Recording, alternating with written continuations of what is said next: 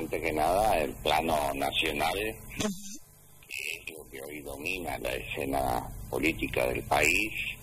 la preocupación hoy de los argentinos está en primer término en la economía, en el segundo en la seguridad y el tercero en la cuestión sanitaria de la pandemia,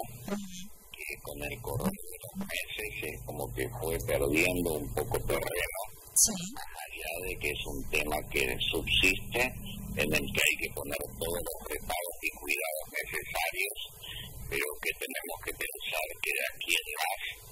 debemos convivir con la pandemia hasta que salga la vacuna,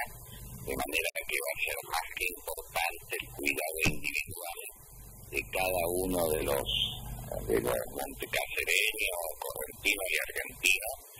en cuanto todas las prevenciones para tratar de no contagiarse y no contagiar,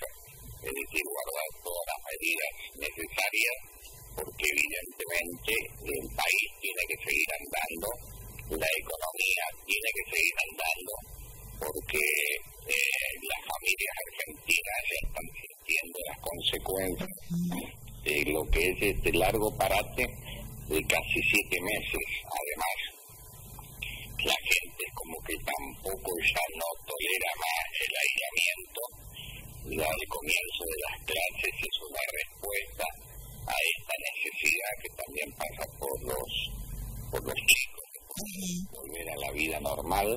Y esto debe hacerse en un marco de una gran responsabilidad social. Así que Argentina en este momento está enfrentando por un lado el tema de la pandemia, pero por otro lado comienzan a sentirse las consecuencias de, de esta cuestión sanitaria en el plano económico y en el plano social, que es lo que nos debe preocupar para el tiempo que se viene con algunos indicadores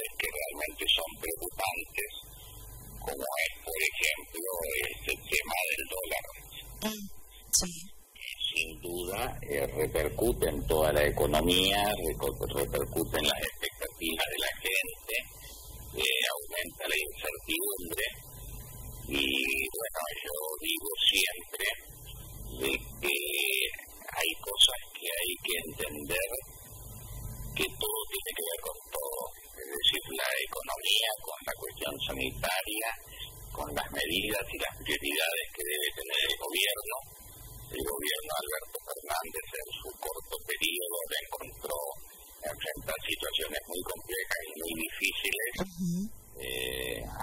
en el cuero de él para ver lo que es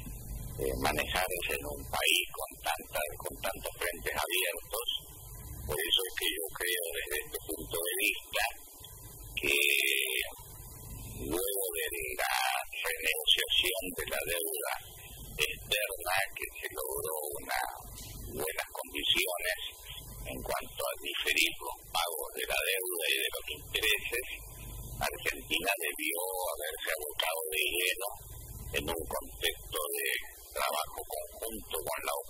así como se realizando con la pandemia,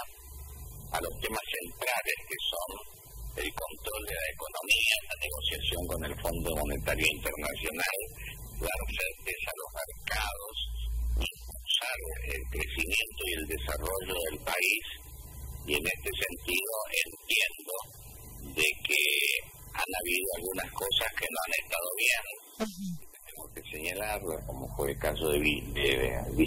En su momento, después el tema de meter temas conflictivos, como la reforma judicial, la ampliación de la Corte, esta discusión por los tres jueces, todo esto de la toma de tierra, que el Estado no está dando una respuesta adecuada, fuerte, firme, y por ahí voces que se escuchan muy preocupantes, como la de y como la de la de la Bonafini como expresiones marginales de la política argentina, que realmente crean un cuadro de zozobra y todo esto repercute justamente en indicadores como el dólar, que es reflejo de, una situación que yo diría que no es tanto económico, sino que pasa por la necesidad de encauzar una crisis política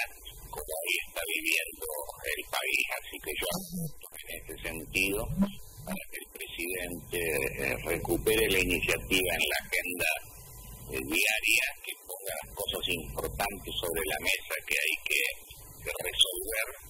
y que, que los otros temas conflictivos queden para otro tiempo, porque sin duda hoy los argentinos están necesitando soluciones eh, perentorias y estas soluciones pasan por normalizar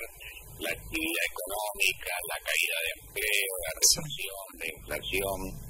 y todas las cuestiones que hacen a, a estos temas que, realmente hoy son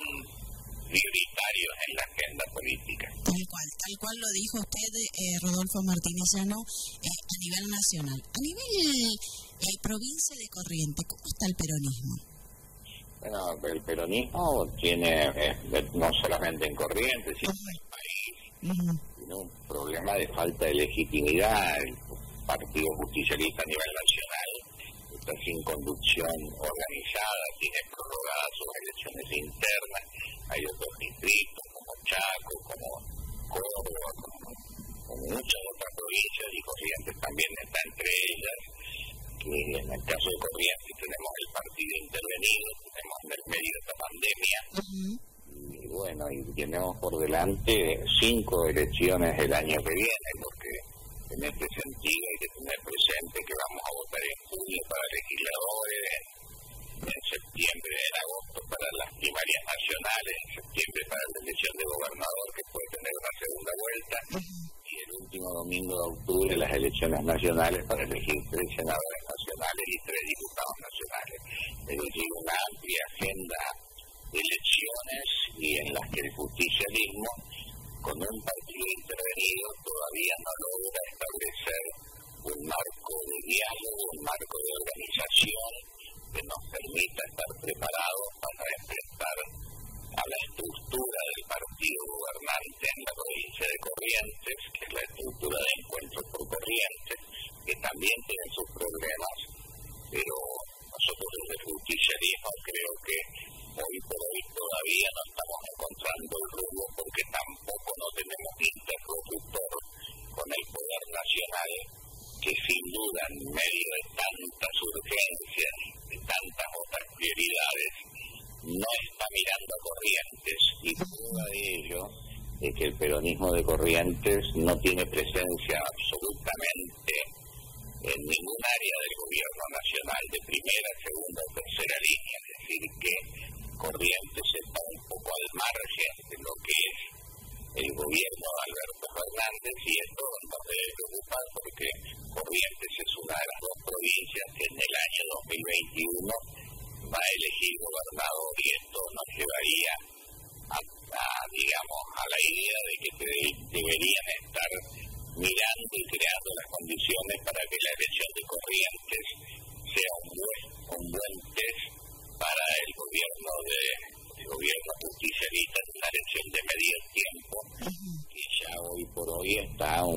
complicada, es decir, hoy por hoy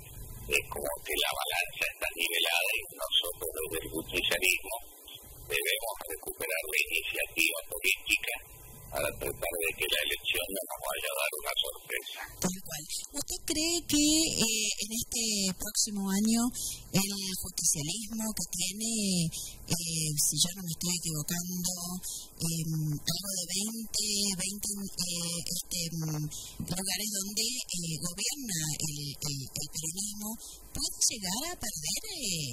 lugar? Yo digo que hay mucha preocupación en las elecciones de cuando son elecciones provinciales, como son las de este año, porque no se vota presidente,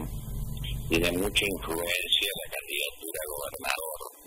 Por eso es que nosotros necesitamos fortalecer la organización y el mecanismo de selección del candidato que nos va a representar. En ese sentido, yo he dicho que Buenos Aires no debe pensar de que va a manejar las cosas a dedo, eso sería una muy mala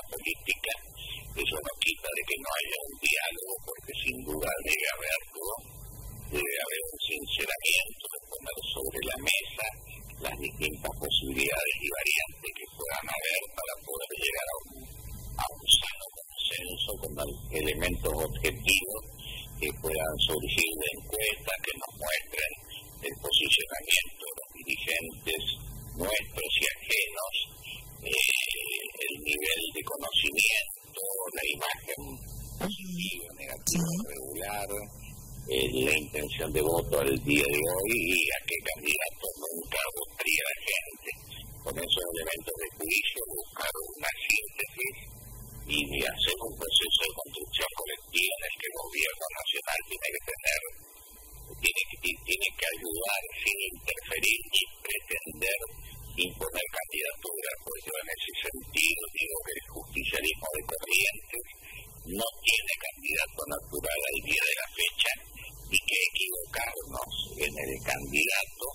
puede arrastrar a una gran cantidad de comunas peronistas que dejen de ser peronistas,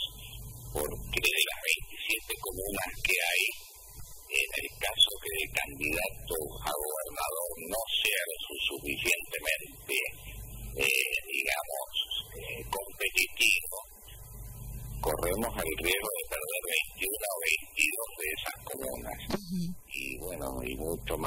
ganar nuevas comunas como pretenderíamos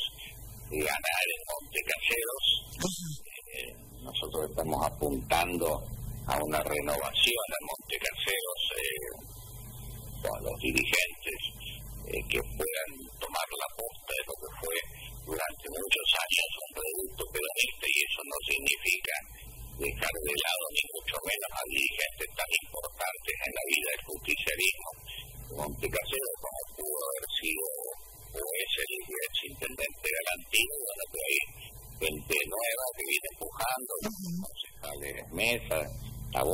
Y Franco Lobato, eh, que representan de alguna forma un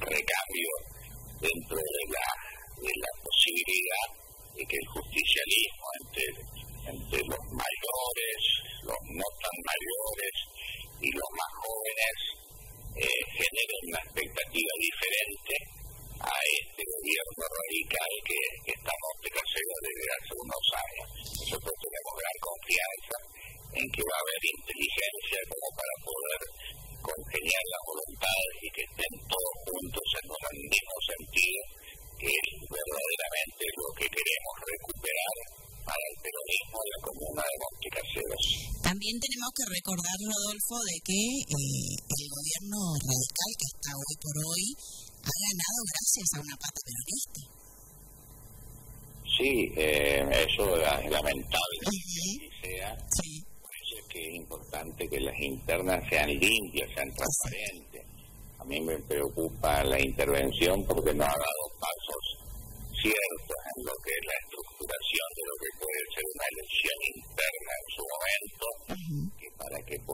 contener a todos los sectores deben haber igualdad de condiciones y eso también me preocupa que hay algún sector del, justicialismo, el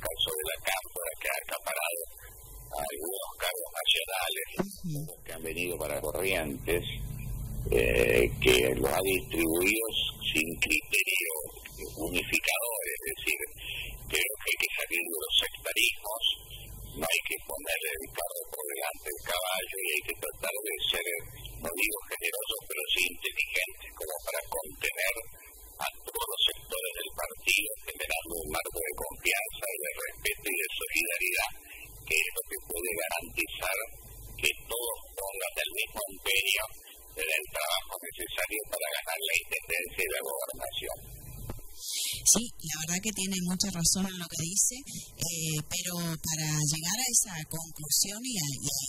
esas acciones, el peronismo debería, debería juntarse, debería juntarse para poder recuperar la intendencia, para poder recuperar el, gobierno provincial. Y ya que estamos hablando así de gobierno provincial, allí como vicegobernador lo tenemos a Gustavo Cantero. Eh, Gustavo Cantero viene de la, de la fila de, del peronismo. ¿Usted qué piensa? Eh, ¿Sigue siendo peronista o es radical? Mire, Gustavo Cantero nunca perteneció al Partido Justicialista, un hombre de ECO que además tiene muy buenos negocios con ECO. negocios, me, refiero no a los políticos, sino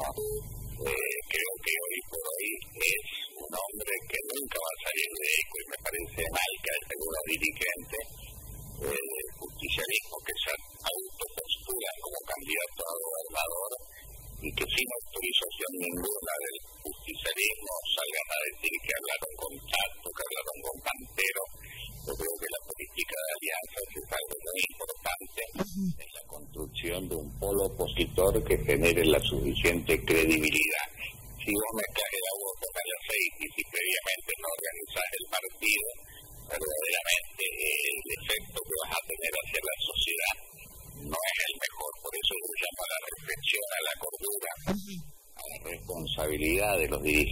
Que sepan manejar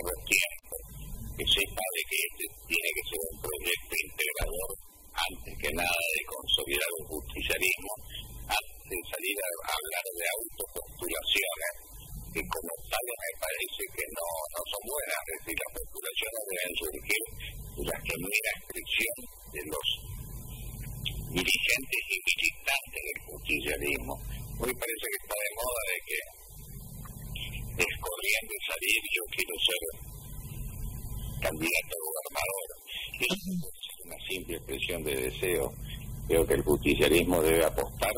a aquel que esté en las mejores condiciones objetivas para llegar y para ganar la elección, eh, sin caer en personalismo de ninguna naturaleza, un proyecto no se construye sobre personas, sino se construye sobre identidad de objetivos comunes. Cierto, cierto. Eh, Martínez Llanón, eh, no sé si queda algo más como para recalcar, hablamos de la cámpora, hablamos a nivel nacional, provincial, eh, pero a mí me quedan dos nombres todavía, Pitín Aragón y Camado Quinola. Bueno, son dos autoposturados. Yo no califico ni descalifico a nadie, no soy quien para hacerlo, sería una falta de respeto, solamente digo que, eh, consensos, no hay dirigentes que se autoposturen y menos que puedan buscar el dedo, el dedo nunca ha sido bueno. En Corrientes, no tenemos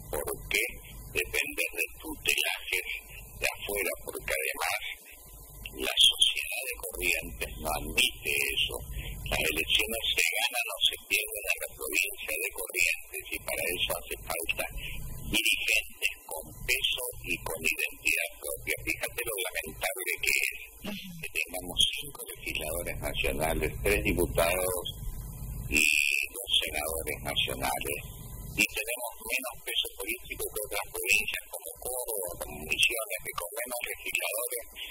saben hacerse respetar, saben conseguir cosas para sus provincias.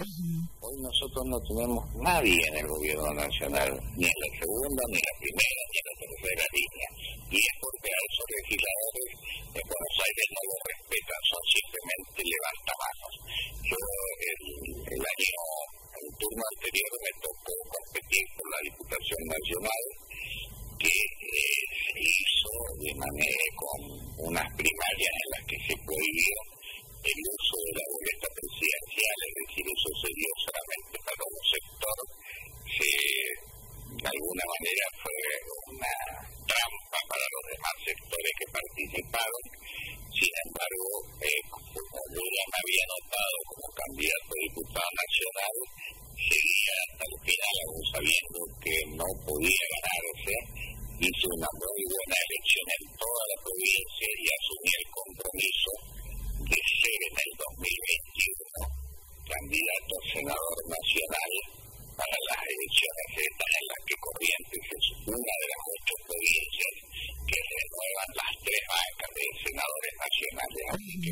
en esa tarea me va a encontrar el año que viene tratando de, eh, bueno, de poder tener el apoyo de los correntinos. Los correntinos eh, me conocen en el sentido de que siempre he trabajado y luchado y cuando me tocó decirle que no al presidente, como el caso de Mena, diez veces le dije que no algunas cosas, entre ellas cuando eh, tenemos contacto, quería que no lo echemos a tanto, que no lo metamos preso a tanto, después que lo, que, votemos a tanto en el 2001 cuando nos opusimos y la gente vino partido. Esas son las posiciones que tienen que tomar los dirigentes correntinos, es decir, tener la suficiente identidad y envergadura como para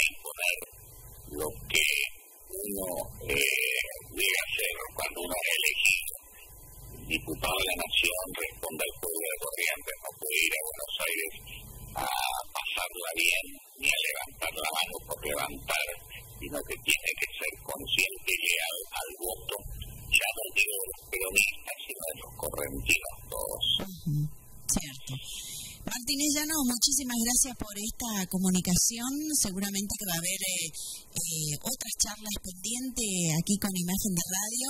La verdad que este, abrió el panorama político usted con esta charla que tuvimos hoy en la mañana. Así que bueno, excelente día para usted y hasta un próximo contacto. Bueno, un cordial saludo para todos los peronistas y no peronistas, para los cacereños en general eh, que podamos superar estos tiempos difíciles que estamos viviendo, al gobierno nacional, a mi gobierno, al gobierno Alberto Fernández. Eh, yo le deseo el mejor de los éxitos, para eso hay que ser conscientes de que hay errores que se vienen cometiendo que tienen que solucionarse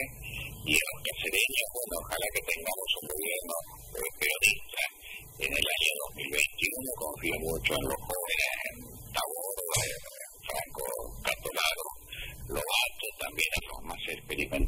experimentados, como el caso de mi amigo